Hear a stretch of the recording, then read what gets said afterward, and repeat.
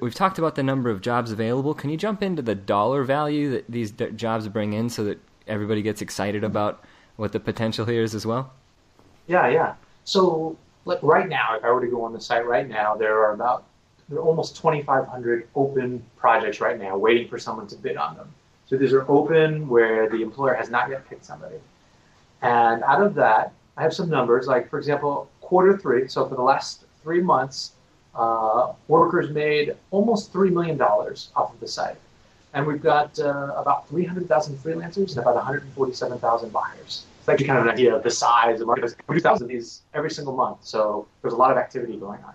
That's incredible. That's so huge. I mean, you got to you've got to feel proud just in knowing that you've got three million dollars in money being given out every time.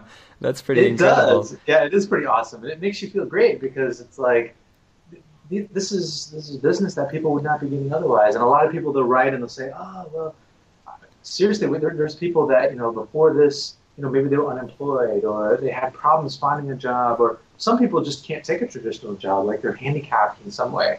And they just send the nicest emails and the nicest letters. So it's it's very gratifying. That's incredible. That's so cool. I'm one of the people who can't take a traditional job, but not because of a disability. I just can't handle working for somebody else. yes, by choice. Yes, right, exactly. Too. well, um, this is exciting, and we're going to get into some of the details about how people can um, best utilize the site and sort of the best practices to get these jobs. But uh, I want to kind of step back for a second, and so that everybody on the call can connect with you. Can you just tell us a little bit about yourself, why you created uh, VWorker, and if you've traveled, maybe some of your personal travel experiences and some of your favorite places you visited? Oh, sure. All right. So to answer the first question, it's like uh, basically I had a site called Planet Source Code, and Planet Source Code is a site for computer developers. Source code is like the, the building block blocks for programs. And I started that site, and uh, I was the webmaster. And what I found is a weird thing was happening. I was people were saying, "Hey, Ian, can you please create this program for me? Can you do a little bit of work and do this? Can you do that?" And there were so many of them asking me for work that I actually had to turn them away. And you know, at the time, I was just a I was I was an independent contractor. Is basically where I was, and and I was like, something's wrong here. It's like I, I, this is my job, and I'm having to tell these people, no, I'm sorry, I'm too busy. I'm too busy.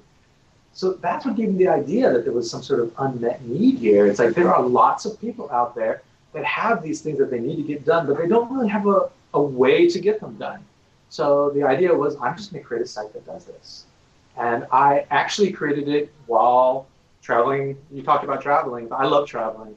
I created the site really on my laptop while coming home from a trip to Italy. So uh, that was the, the first version of the site. That was in 2001. That was like the, the prototype beta version and you know it's just grown and grown ever since.